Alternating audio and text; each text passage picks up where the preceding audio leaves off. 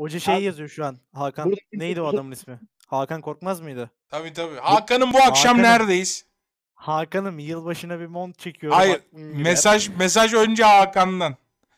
Abi bir sıkıntı yok değil mi? Sergen hocamın cevap. Ne sıkıntısı lan gerizekalı. Gülen yüz.